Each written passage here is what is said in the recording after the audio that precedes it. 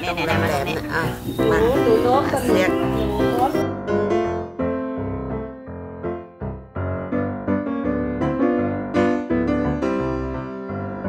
ลูกคนเลยจ้ะลูก คนเลยคนเลยคนเลยเอาข้างล่างขึ้นมา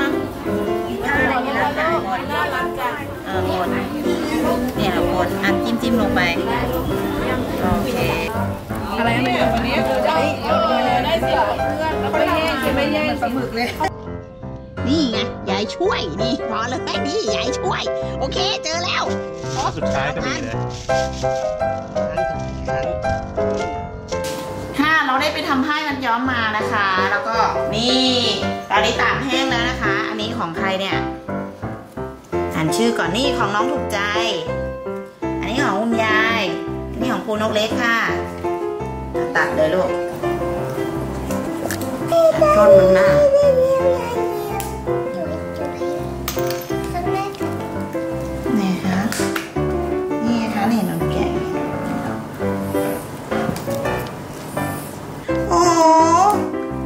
วยจังเลยค่ะ นี่อันนี้ของคุณยายนี่ดูของแม่สิ โอ้ถูกใจกับคุณยายลายคล้ายๆกัน ว้าวลายอะไรอะลายอะไรนี้อะ นี่ อันนี้มือของแม่นี่เออลายขวางนี่เห็นไหมโอ้สวยนะนี่ แต่ละผืนก็สวยต่างกันนะคะ เป็นรุ่นลายต่างกันอะโชว์คนละอันหน่อยแล้วคนละผืนเย้ก็เป็นกิจกรรมที่ดีนะคะสำหรับการทำผ้ามัดย้อมนะคะจาก